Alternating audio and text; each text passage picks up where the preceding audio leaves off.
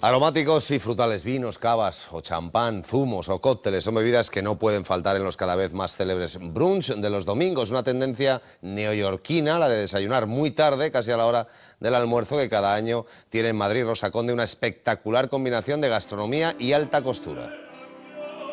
gastronomía, alta costura y música, porque cada domingo bajo la cúpula de cristal del Palace se celebra el brunch. Esto de desayunar tarde o comer pronto, según prefieran, que viene aderezado, amenizado con música, ópera, un piano de cola, una soprano, un tenor para que los platos nos sepan aún mejor. Y este domingo aún es más especial porque hay desfile retrospectiva de Joseph Font que pretende con estos trajes hacernos viajar a un mundo de fábula. Sin duda lo consiguen.